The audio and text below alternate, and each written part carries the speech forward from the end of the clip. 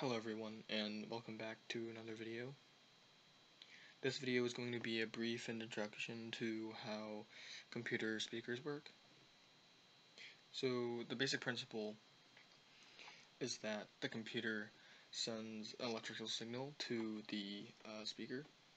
So when uh, electricity flows um, through the speaker, the electromagnet, also called the coil, and the permanent magnet, uh, which is like the base, um, they create a force interaction which drives the diaphragm.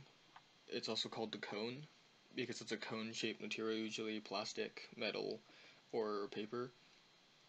And that diaphragm will move the air according to how the um, electricity is flowing through, and it'll cause the sound waves that you can hear.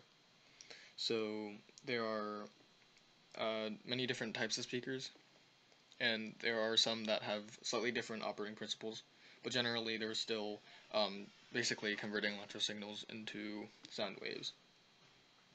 So there are uh, electrostatic speakers and also planar uh, magnetic speakers, which are slightly different, but they generally still have the same underlying principle of moving uh, air with a diaphragm.